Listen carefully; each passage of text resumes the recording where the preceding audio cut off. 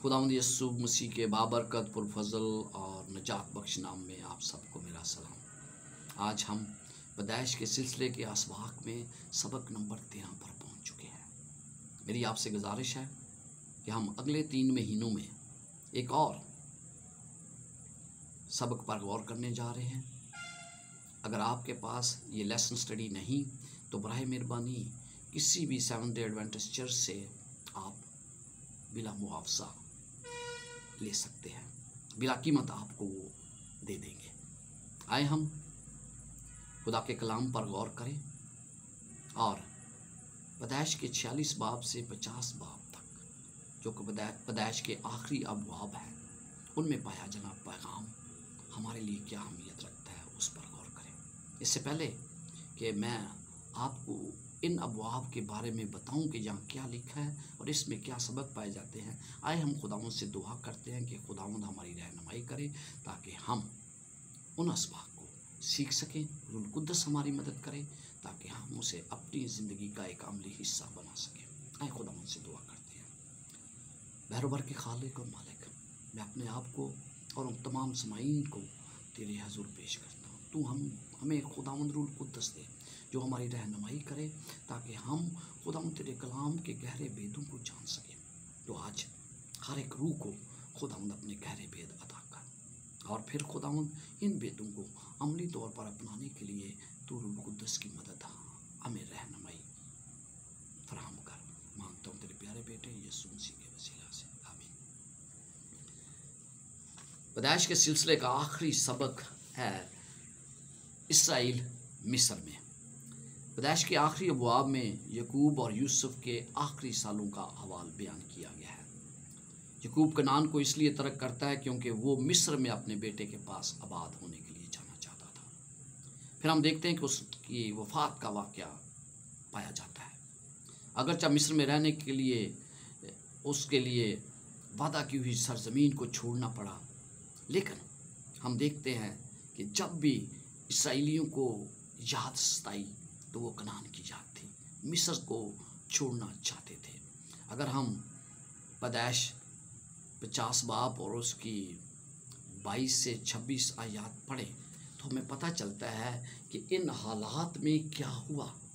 जब उन्होंने मिस्र को छोड़ा, उनकी ख्वाहिशात क्या थी? आखिरी वक्त में यकूब और यूसुफ की ख्वाहिशात क्या थी? मैं आप, मैं दरख्वास्त करता हूँ कि अगर आपके पास बाइबल है तो यकूब के बारे में पढ़ने के लिए पैदाइश पचास बाप और उसकी बाईस से छब्बीस आयात पर हम गौर करेंगे। और यूसुफ और उसके बाप के घर के लोग मिस्र में रहे और यूसुफ 110 बरस तक जीता रहा। और यूसुफ ने इफ्राहम की औलाद तीसरी पुश्त तक देखी। और मनसी के बेटे मकीर की औलाद को भी यूसुफ ने अपने घुटनों पर खिलाया। और यूसुफ ने अपने भाइयों से कहा, मैं मरता हूँ और खुदा यकीनन तुमको याद करेगा और तुमको उस मुल्क से निकाल कर उस मुल्क में पहुँचाएगा, जिसके देने की कसम उसने इब्राहिम और इजाक और यकूब से खाई थी। और यूसुफ ने बनी इसराइल से कसम लेकर कहा खुदा यकीनन तुमको याद करेगा, सो तुम ज़रूर ही मेरी हड्डियों को यहाँ से ले जाना। और यूसुफ ने 110 वर्ष होकर वफात पाई और उन्होंने उसकी लाश में खुशबू भरी और उसे मिस्र ही में ताबूत में रखा। मिस्र में जाने के लिए यकूब खुदा से मशवरा करता है। यकूब जैसे मिस्र में पहुँचता है, अब देखें वो किस तरह फिर को बरकत देता है। जुजवी तौर पर खुदा का ये पैगाम उसके लिए कि दो कौमों को बरकत देने का वादा पूरा हुआ। इस तरह यकूब ने यूसुफ के बेटों को बरकत दी और फिर उसने अपने बेटों को भी उन बरकत से नवाजा और फिर उन्हें मुस्तकबिल के बारे बताया कि उनके साथ क्या होने जा रहा है। इसराइल कौम बनने के बाद अजनबियों की तरह मिस्र में ज़िंदगी बसर करते उन्हें वादा किया हो मुल्क का नाम बड़ी शिद्दत से याद आता था।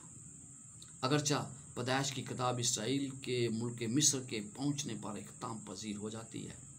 लेकिन यूसुफ के आखिरी अल्फाज में किसी दूसरी जगह की तरफ़ इशारा किया गया है और वो मुल्क कनान है। वो मरते वक्त ये जानता था कि खुदा इस कौम की एक दिन रहनुमाई करेगा और ये यहाँ से वहाँ पर पहुँच जाएँगे। और वो कहता है कि मेरी हड्डियों को यहाँ से ले जाना। खुदा तुमको इस मुल्क में पहुँचाएगा, जिसका वादा उसने इब्राहिम, इसाक और यकूब से किया था।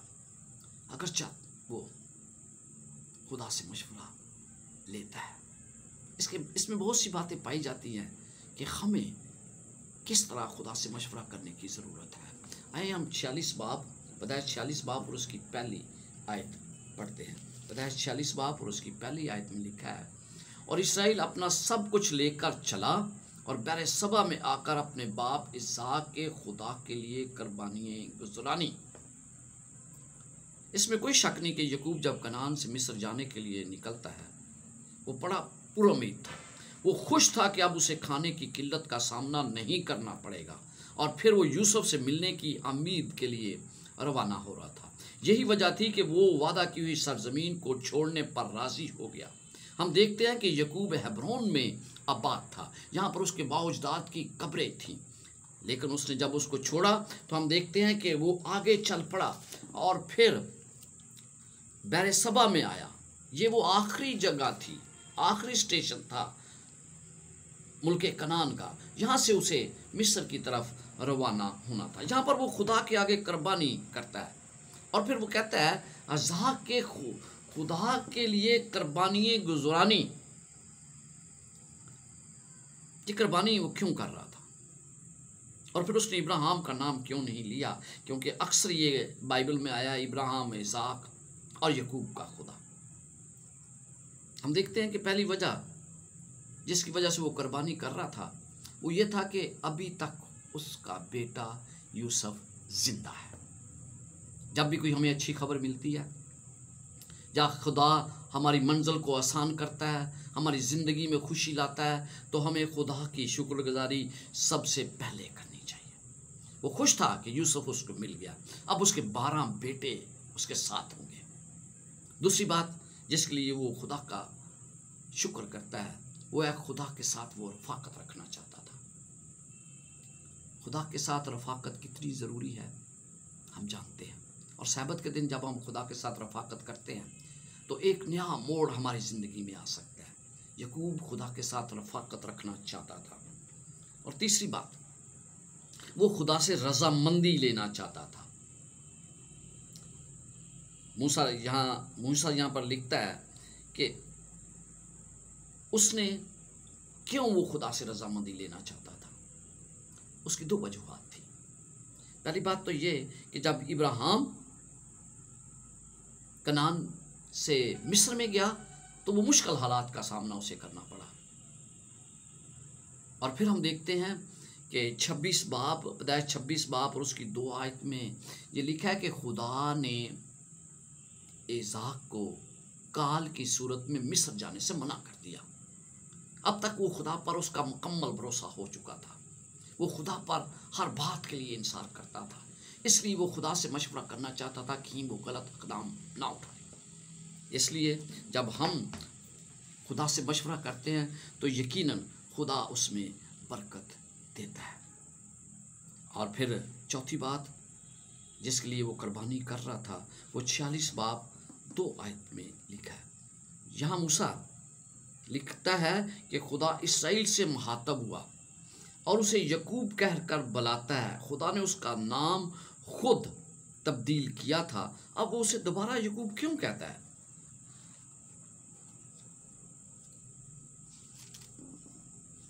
छियालीस बाप और उसकी दूसरी आय।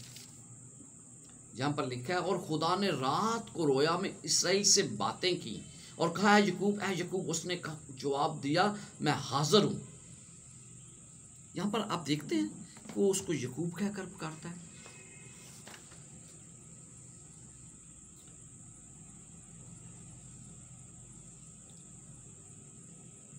गालबन ये यकूब की पहली रोया थी, इससे पहले खुदा उसे ख्वाबों में मिलता रहा था।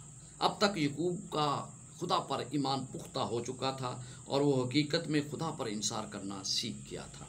यहाँ पर हम देखते हैं कि यकूब की रवानगी इब्राहिम के तजर्बे की उसे याद दिलाती है। फ़र्क सिर्फ़ ये था कि इब्राहिम वादा की हुई सरजमीन की तरफ़ जा रहा था, जबकि यकूब वादा की हुई सरजमीन से मिस्र की तरफ़ जा रहा था। चंद वजूहत जिनकी बना पर हम इब्राहिम और यकूब के तजर्बे को एक ही नगाह से देखते हैं। पहली बात, खुदा ने इब्राहिम से वादा किया था कि वो उसे एक बड़ी कौम बनाएगा और यही वादा खुदा ने यकूब से भी किया।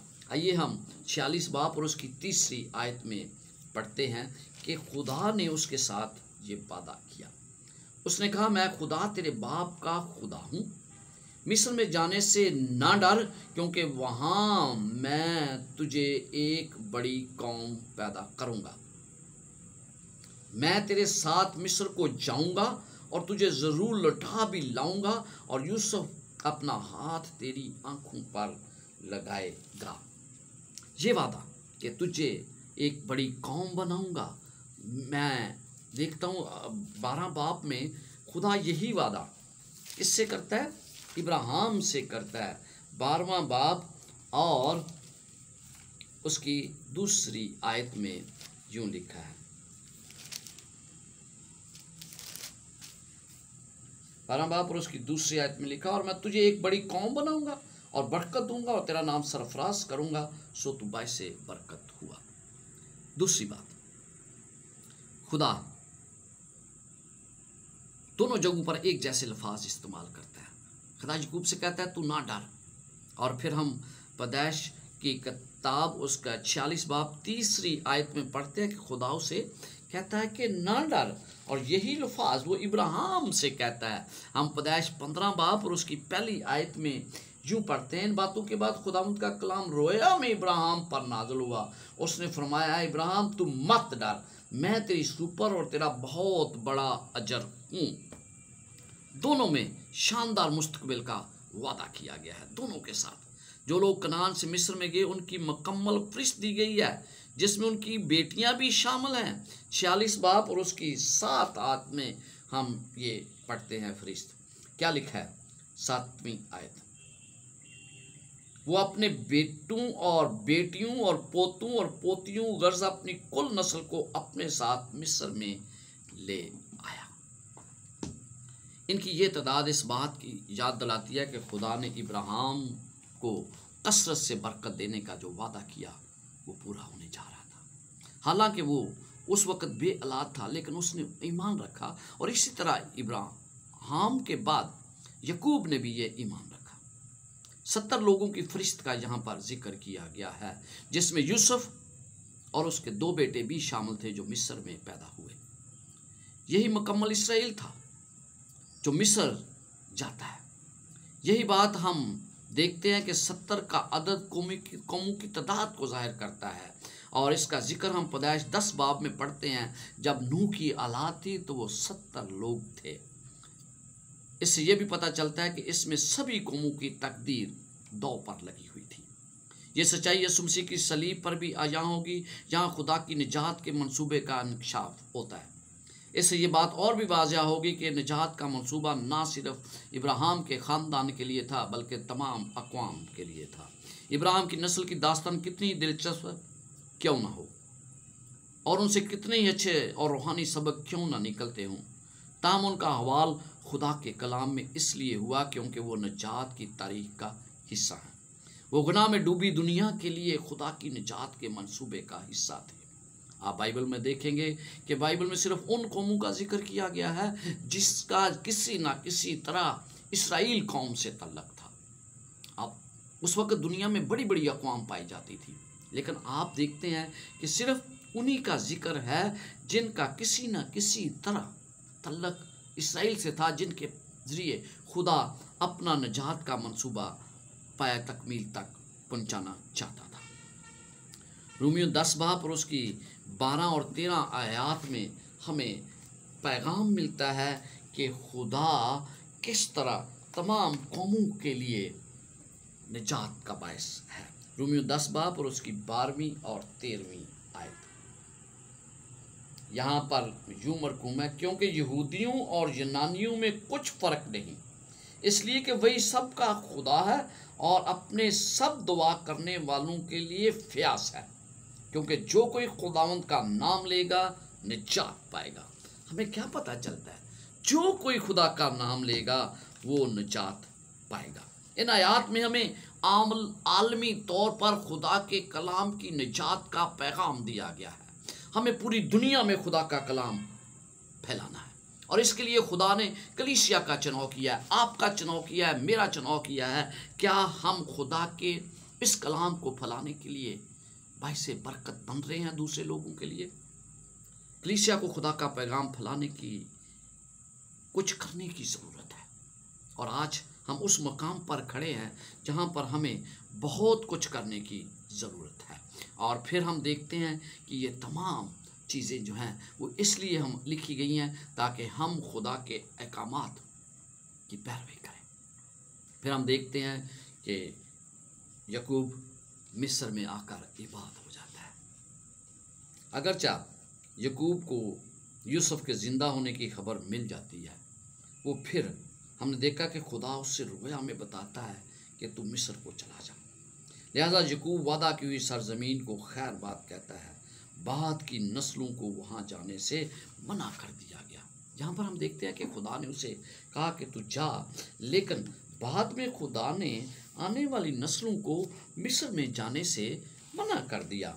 अस्तिशना में हम देखते हैं कि खुदा ने इन लोगों को मना कर दिया। सत्रह बाप और उसकी सोलहवीं आयत। स्तिशना सत्रह बाप और उसकी सोलहवीं आयत में यूँ लिखा है। इतना ज़रूर है कि वो अपने लिए बहुत घोड़े ना बढ़ाए और ना लोगों को मिस्र में भेजे ताकि उसके पास बहुत से घोड़े हो जाएँ। इसलिए कि खुदाउन ने तुमसे कहा है कि तुम उस राह से फिर कभी उधर ना लौटना। भारत की नस्लों को खुदा ने मना कर दिया। पैदाइश, सैतालीस बाप में हम देखते हैं कि यूसुफ अपने पाँच भाइयों को फिराउन के सामने पेश करता है। यूसुफ ने अपने पाँच भाइयों को फिराउन के सामने पेश किया और उसने उनके मुस्तकबिल के घर के बारे ज़मीन की इजाज़त ली। अपने वज़ीर अजम का शुक्रिया अदा वो कर रहा था। उसको बहुत अच्छी तरह पता था कि यूसुफ उसके लिए कितना अहम है। यहाँ यकूब इब्राहिम और इजाक के खुदा का हवाला देता है। उसने उन्हें खुराक और तहफ़ फराम किया था। सब बलाओं से महफूज रखा था। यकूब के जहन में बैतलेल की।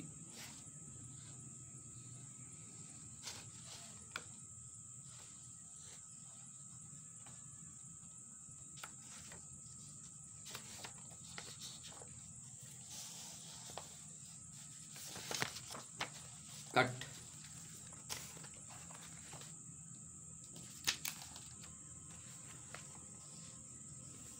सैतालीस बाप में हम देखते हैं कि यूसुफ अपने पाँच भाइयों को फिराउन के सामने पेश करता है। और वो फिराउन के साथ अपने मुस्तकबिल की रिहाइश के बारे में बात करते हैं और उससे इजाज़त मांगते हैं। वो अपने वज़ी अजम का बड़ा शुक्रिया था। बादशाह को रियासत के कामों में यूसुफ की ज़रूरत थी और वो अब उसके भाइयों की भी तकरीरें करना चाहता था। यूसुफ जो यहवा खुदा की इबादत सच्चे दिल से करता था, अपने भाइयों को उन आजमाइशों से बचाने की कोशिश करता रहा, जिनके मुजरम होने से वो शाही अदालत में हाजिर किए जा सकते थे। वो पता था उसको बुतप्रस्त कौम के सामने हैं ये लोग। इसलिए उसने उनको मशवरा दिया, जब वो बादशाह से सवाल पूछे, सवाल उनसे तो खुले दिल से तुम कहना कि हमारा पेशा क्या है? हम चरवाहे हैं। यकूब के बेटू ने यूसुफ के मशवरे पर अमल किया और उन्हें वो बताता है, बड़े मतात तरीके से कि हम यहाँ पर परदेसी हैं। हम मुस्तकबिल तौर पर, मुस्तकिल तौर पर यहाँ रहने के लिए नहीं आए। इस तरह अगर वो चाहते तो रवानगी का हक उनके पास महफूज था। बादशाह उन सबसे बेहतरीन जगह देता है, यानी जश्न का इलाका। फिर उन्होंने बड़ी अक्लमंदी से काम लिया और उन मुसाफरों को बकारी दी वो नहीं चाहता था कि ये लोग पूरी उम्र के लिए उस पर इंसार करें। उसने मेज़बान की बतात पर ज़िंदगी गुजारते उसने इससे मना कर दिया। उसने उनके पेशे के बारे में पूछा ताकि वो उस अपने नए माहौल में बेहतर तौर पर कायम हो सके। उनकी महारतों को इस्तेमाल करना चाहता था। इसलिए उसने उन्हें अपने चपाओं पर मुकर कर दिया। अगरचा यकूब परदेसी, कमतर और अजनबी था। लेकिन फिर भी वो मुल्क के रहनमा के सामने हाजिर हुआ और कलाम मुकदस के मुताबिक यकूब ने फ़िराउन को बरकत दी। सैतालीस आयत। कट सैतालीस बाप और उसकी सात आयत में हम यूँ पढ़ते हैं। और यूसुफ अपने बाप यकूब को अंदर लाया और उस, उसे फिराउन के सामने हाजिर किया और यकूब ने फिराउन को दवा दी। जहाँ जब यकूब फिराउन के सामने हाजिर होता है तो यहाँ जो अल्फाज इस्तेमाल किए गए हैं, ये वही अल्फाज हैं जो काहिन जब खुदा के सामने हाजिर होते हैं। इस बाप को मद्देनज़र रखते हुए फिराउन को अला तरीन दर्जा हासिल था। इस दुनिया में उसे अला तरीन दर्जा हासिल था। उसका मतलब यह कि रूहानी इतबार से यकूब मिस्र के आला तरीन कायन से अफजल था हती के खुद फिराउन से भी अबरानी सात बाप और उसकी सात आयत में हमें पैगाम दिया गया है कि किस तरह हम उस बरकत को का अंदाज़ा लगा सकते हैं कि किस तरह यकूब फिराउन से बड़ा था। सात बाप अबरानी सात बाप और उसकी सात आयत में यूँ लिखा है, और इसमें कोई कलाम नहीं कि छोटा बड़े से बरकत पाता है। जहाँ रहानी तौर पर यकूब, कहीं बड़ा था फिराउन से। और फिर हम देखते हैं, पहला पत्रस उसकी, उसका दूसरा बाप और उसकी नौ और दस आयत। यहाँ पर यूँ लिखा है, लेकिन तुम एक बर्गजीदा नस्ल, शाही कहनू का फिरका मुकदस कौम और ऐसी उम्मत हो जो खुदा की ख़ास मलकियत है, ताकि उसकी खूबियाँ ज़ाहिर करो, जिसने तुम्हें तरीकी से अपनी अजीब रोशनी में बुलाया है। अगर हम शाही कहनू का फ़िरका और एक मुकदस कौम है तो हमारा ये ईमान है कि हम दूसरे लोगों को बरकत देने का सबब बनते हैं। ज़िंदगी जैसी भी हो, फिर भी हमें दूसरों के साथ किस तरह का सलूक करना चाहिए? हालात कैसे भी हों, हमें दूसरों को बरकत देने के लिए तरकीब दी गई है। हम दूसरों के लिए बरकत का बायस बने। यहाँ पर आप देखते हैं कि किस तरह यकूब ने उसे बरकत दी। बहुत आम है कि हम इन बातों को याद रखें। जब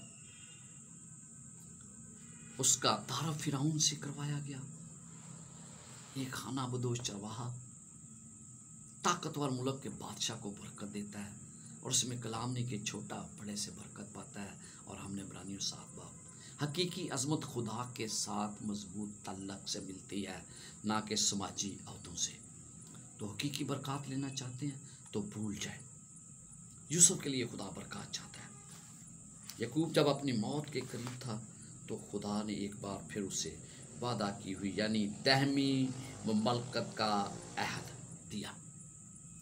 अड़तालीस बाब में हम पढ़ते हैं कि खुदा उससे वादा करता है, फिर उसे याद दिलाता है कि तू बहुत बड़ी कौमों का बाप होगा और तुम्हें मैं दहमी मुल्क दूँगा। अड़तालीस बाप और उसकी चार आयत में लिखा है, और उसने मुझसे कहा, मैं तुझे भरमंद करूँगा और बढ़ाऊँगा और तुझसे कौमों का एक जुमर्द पैदा करूँगा और तेरे बाद ये ज़मीन तेरी नस्ल को दूँगा ताकि ये उनकी दहमी मलकियत हो जाए। ये वही वादा दोहराया गया जो इब्राहिम के साथ किया गया था। इस तरह वादा की हुई सरजमीन का फिर से वादा उसे मौत के करीब तसल्ली का बायस था। ऐसे में यकूब यूसुफ के दोनों बेटों की तरफ़ मुतवजह होता है, जो मिस्र में पैदा हुए थे और उन्हें बरकत अदा करता है ताकि वो भी उस बरकत और अहद में शरीक हो जाए। यकूब ने बाकी पोतों को सिर्फ़ बरकत नहीं दी, बल्कि सिर्फ़ यूसुफ के पोतों को बरकत दी। कट। यकूब ने बाकी पोतों को बरकत नहीं दी सिर्फ़ यूसुफ के दो बेटों को बरकत दी। वाहिद पोते थे जिन्होंने यकूब, जिन्हें खुद कट। वाहिद पोते थे जिन्हें यकूब ने बरकत दी, जिसकी बिना पर वो पोतों से बेटों के दर्जे तक पहुँच गए। पाँचवीं आयत में क्या लिखा है? अड़तालीस बाब, और उसकी पाँचवीं आयत में हम क्यों पढ़ते हैं?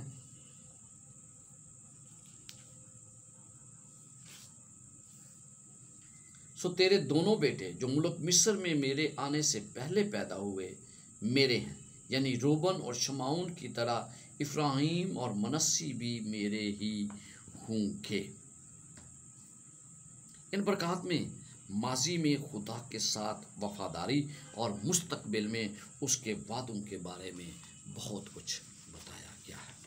यहाँ हम देखते हैं कि यकूब इब्राहिम और इसहाक के खुदा का हवाला फिर देता है। और फिर वो क्या कहता है? उसी ने उन्हें खुराक और तहफ़ फराम किया है। सब बलाओं से उन्हें महफूज रखा है। यकूब के जहन में बैतलेल की बात भी आती है। याद ताज़ा हो जाती है, जिसमें वो फरिश्ते के साथ कुछ थी लगता है। यहाँ पर उसका नाम यकूब से इसराइल बन गया। वो इन तजर्बात का ज़िक्र करता है, क्योंकि यकूब उम्मीद रखता है खुदा उसके पोतों की मौजूदा और मुस्तबिल में उनकी ज़िंदगियों का ख्याल रखेगा, जैसे उसने उसकी और यूसुफ की ज़िंदगी का ख्याल रखा था। बल्कि यकूब उस वक़्त के बारे में ज़िक्र करता है जब उसकी औलाद को कनान वापस जाना था। इसलिए वो उस ज़मीन के टुकड़ों का ज़िक्र करता है जिसे उसने हासिल किया था और जहाँ यूसुफ की हड्डियाँ दफन की जानी थी। जहाँ इसराइल के कबाइल में ज़मीन तकसीम की जानी थी। किस तरह पैदाइश बारहवें बाप और तेर, तेरहवीं आयत में वही वायदा था, जो अमाल तीन बाप पच्चीस और छब्बीस में पूरा होता है। ये बरकत किस तरह हम तक पहुँचती है? खुदा ने बहुत सी कौमों को चुन लिया हुआ है। आइए अमाल पाँच बाप तीन बाप और उसकी पच्चीस और छब्बीस आयात पढ़ते हैं। अमाल तीन बाप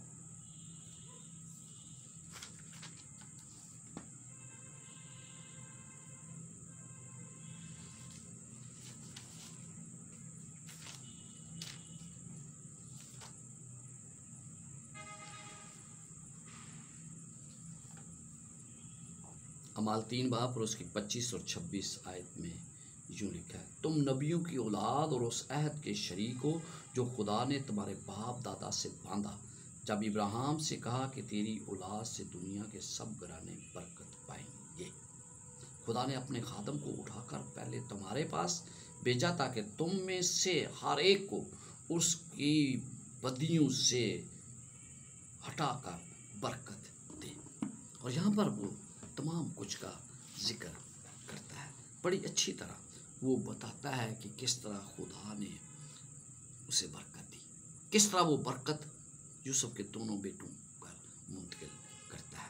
फिर हम देखते हैं कि ये बरकत कहाँ तक थी। वो बहुत सी बातों का ज़िक्र करता है। बैतलेल का वो ज़िक्र करता है। अड़तालीस बाप और उसकी तीन आयत में वो वादा की हुई सरजमीन का ज़िक्र करता है। वो राहल की वफात का ज़िक्र करता है। खुदा ने मसलसल उनकी हिफाजत की, वो इन तमाम बातों के बारे में बयान करता है। वो इसराइलियों की आबादकारी के बारे में बात करता है और फिर कनान की वापसी के मतलब वो बात करता है। इसके बाद यूसुफ अपने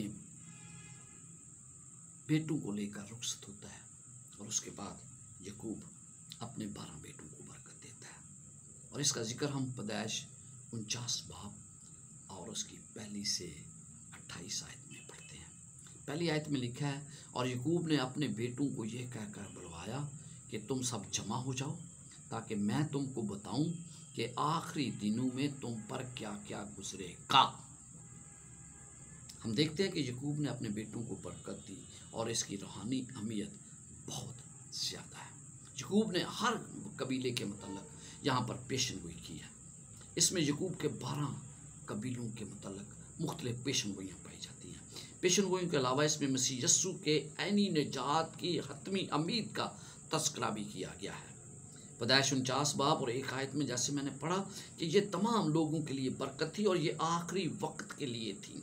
जब आखिरी वक्त का लफ्ज़ इस्तेमाल होता है तो यसु मसीह की बतौर बादशाह आमद की तरफ़ इशारा करता है।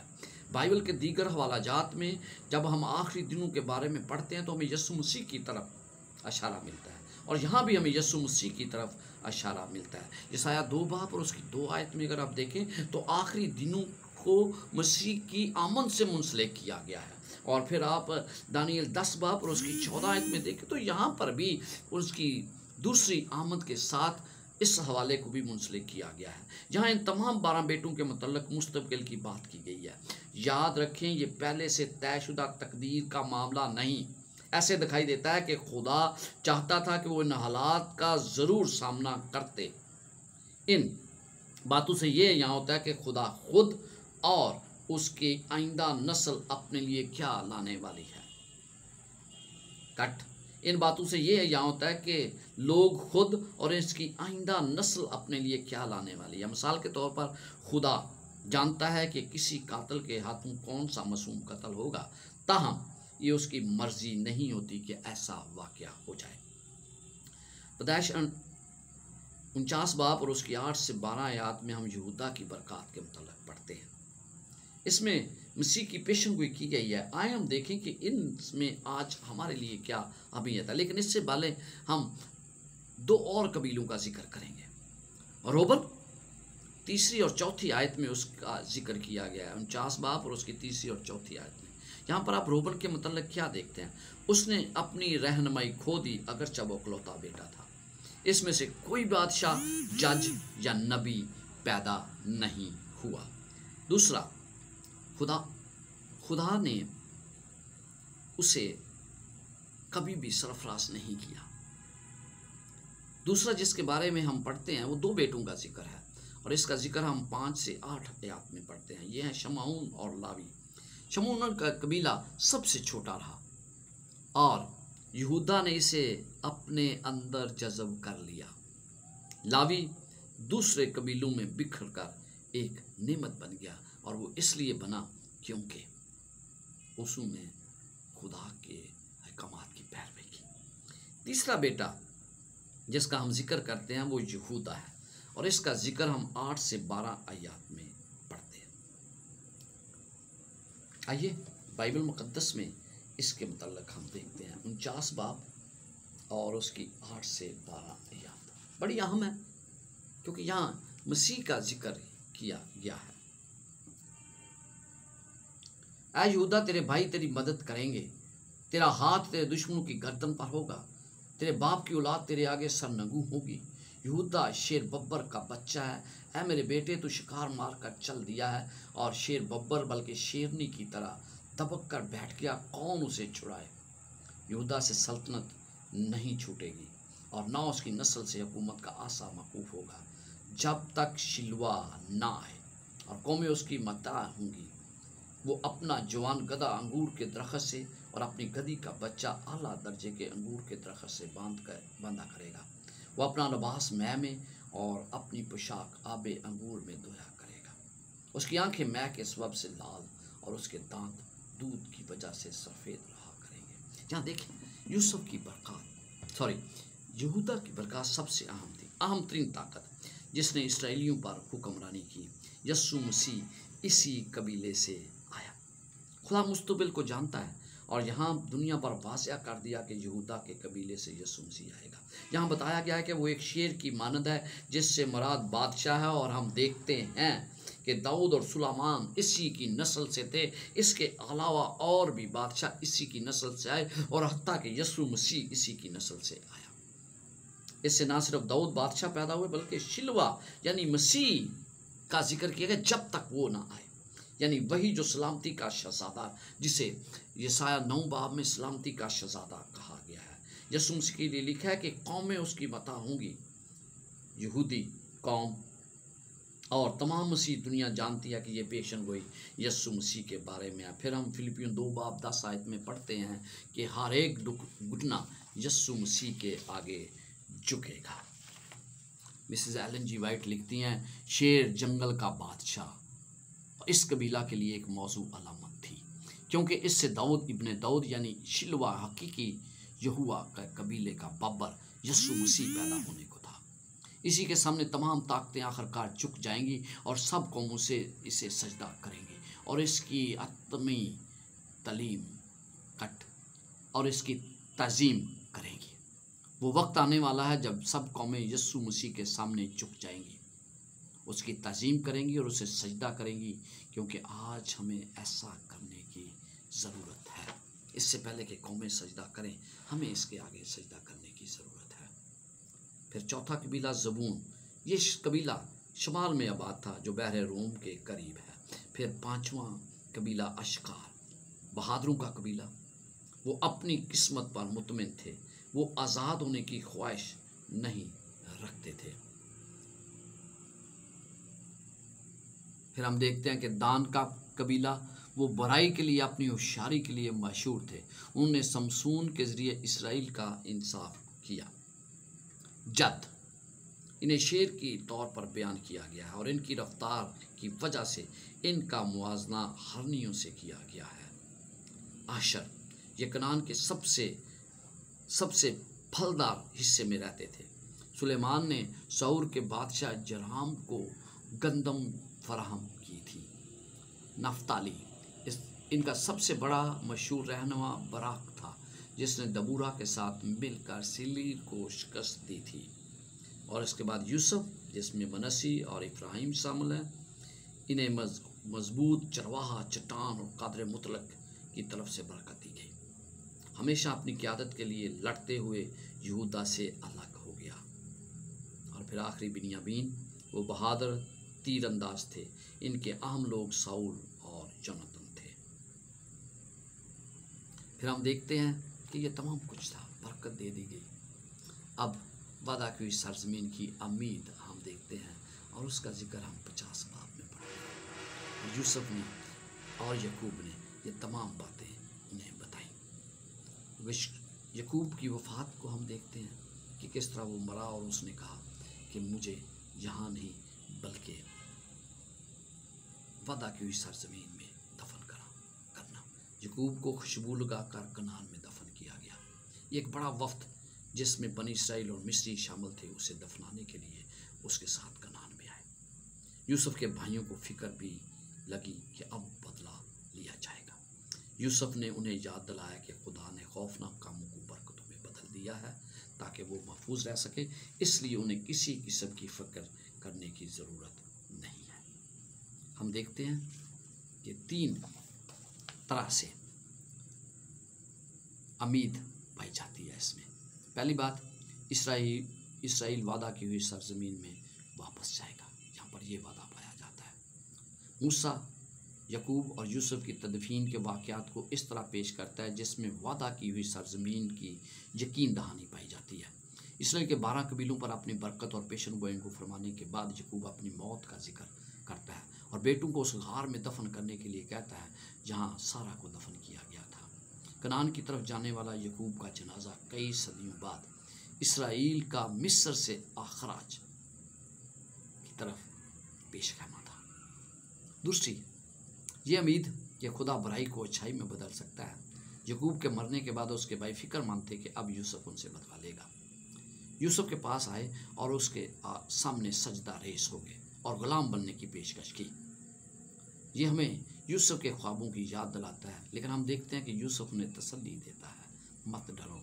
इसमें मुस्तकबिल की झलक नज़र आती है क्योंकि जिस बात को बुराई के लिए अमल में लाया गया था, उससे भलाई निकली।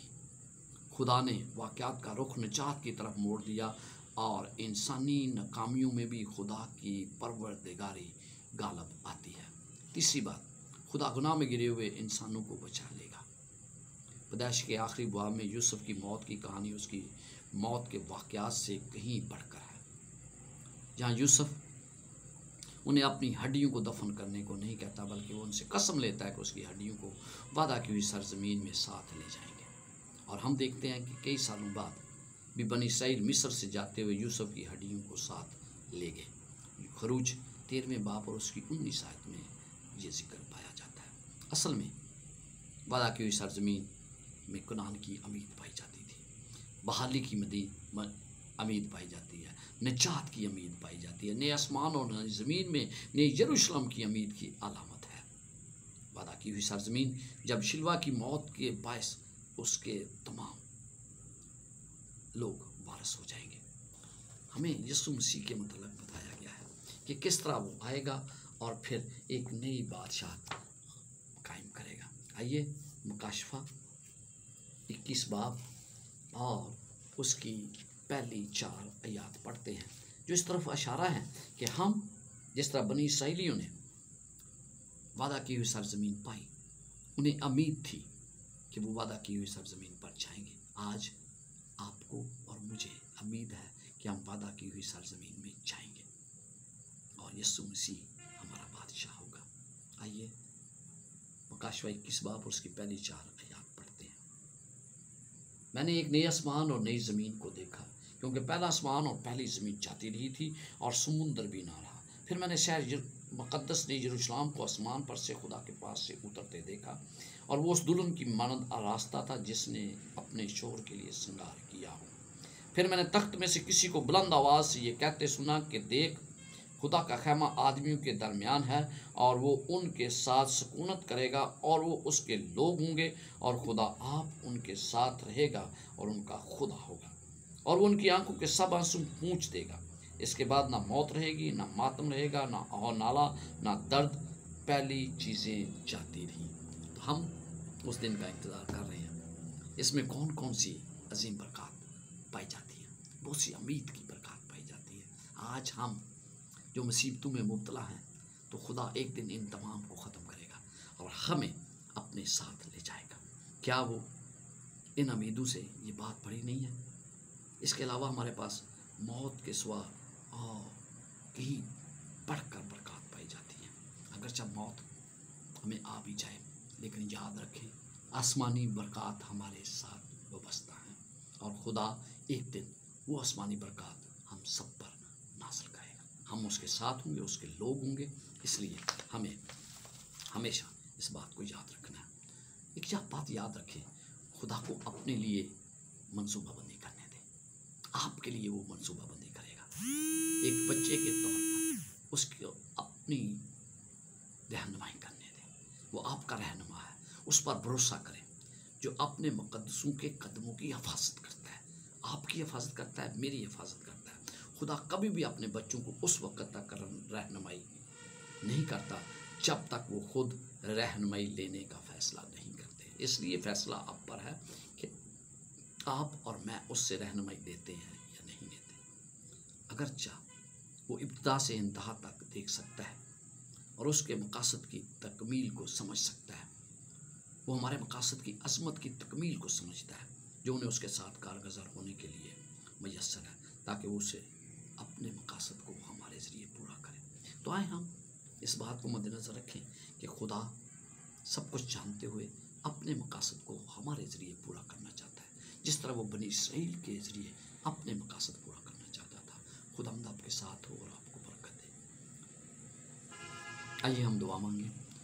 खुदावंद जो कुछ हमने आज तेरे कलाम में से सीखा, वो हमारी ज़िंदगी का एक अमली हिस्सा बना। तो खुदावंद